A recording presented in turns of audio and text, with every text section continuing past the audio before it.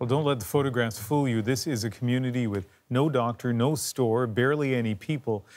But what the pictures show that even a dying town can be a very hard place to leave. The map of Canada is dotted with small isolated communities, many on the brink of extinction, and tonight we'll tell you about one of them and why. We're headed to Little Bay Islands off Newfoundland. It's one of dozens of outports where the province wants to move people out and save on services. But as Chris O'Neill Yates discovered, some residents are down on packing up. Looks like a good day for skate anyway. Yeah, Mike Parsons is living his dream. How did you get down without falling down? Ferry didn't run this morning. He and his wife Georgina have made their own private skating loop on the harbor. They moved back to retire early in Little Bay Islands, at the same time as nearly everyone else is getting ready to leave.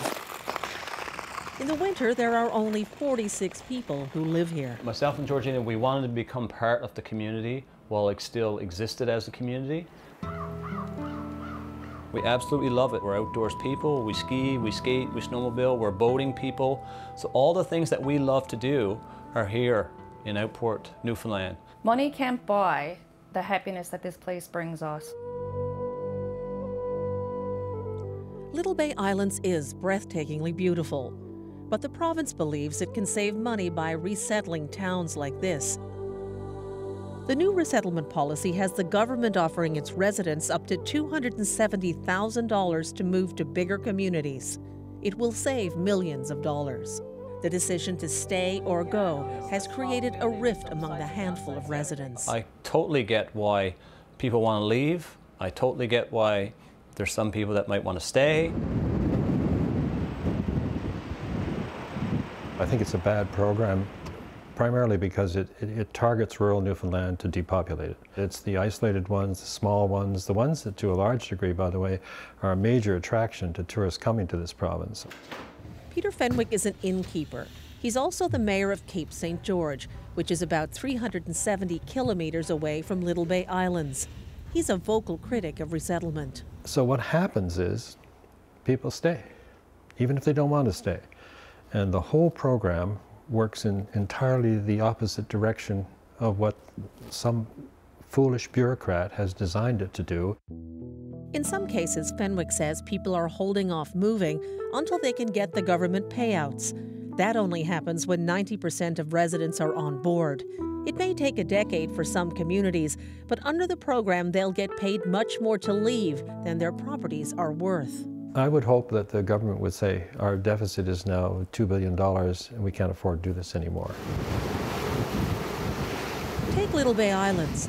There, the government built a ferry that was too big and costly to start with. It was built for more than $27 million in 2011, and it's more than $16,500 to operate per person per year. Some bureaucrat or some politician in the past has decided that we're going to have this big fancy boat and that we're going to make sure that there's a cook on it who makes $100,000 a year and that virtually the entire crew does. So it's, it's not the blame of the people in the small communities. It's, it's the government's poor policies that have made it so expensive. In fact, today, my videographer and I were the only ones taking the boat on our return trip. About 500 kilometers away, this community took matters into its own hands. Centreville on its own was not a viable community, but it amalgamated with two others in 1992. Now a combined 1,100 people live here. The Noble family has been manufacturing wood products for 40 years. Shane Noble's relatives already resettled once from a nearby island in the 1950s. He moved to Ontario for a while, but came back to run the family business 15 years ago. After I moved back, I brought four families back home. I was like, I've got an opportunity. You can you come back? Yeah. Every one of them did. The community itself could easily disappear, but there's five or six manufacturers here. There's different people here with the mentality that we want to be here. So we create our own opportunities. One of the new opportunities he's pursuing is a line of affordable modular furniture. people just don't understand how much opportunity there is in Outport. And that's where Alexa Perry comes in. As a child, she moved out of Newfoundland when her parents um, lost their jobs in the cod collapse. I mean, if I told anybody that I was moving to Newfoundland to do marketing, they'd think I was insane. Um, and turns out there's plenty of opportunity here to do marketing. When I come back here to visit and see that that's what's happening, that people are leaving the communities and there's that threat of that history dying, well, I think that's the exact reason that I feel compelled to come back because those roots are still important to me. So Noble believes uh, there are other reasons that make living here attractive. We're talking some large corporations who have executives that live in rural Newfoundland simply because we have internet. It's an hour's drive to, to the airport in, in Gander, so it's high-paying jobs that live here. I take tons and tons of pictures every day, and the hundreds of pictures. What I'm trying to do with my pictures is, is kind of create some of that emotional connection to Little Bay Islands. You know, Little Bay Islands cousin doesn't get lost.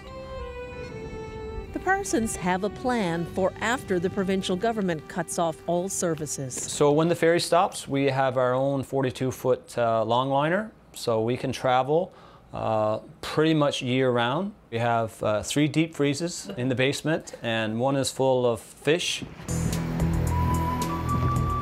Moving into a community that is emptying out is not for everyone. But Parsons believes there's more to life here. These islands and these communities have so much to offer uh, that for people that want to get away from a busy lifestyle, from living in cities or living in parts of the world where they want to get back to the land and they want to experience a slower pace of life. A life where he and his wife will have the entire island to themselves. Chris O'Neill Yates, CBC News, Little Bay Islands, Newfoundland.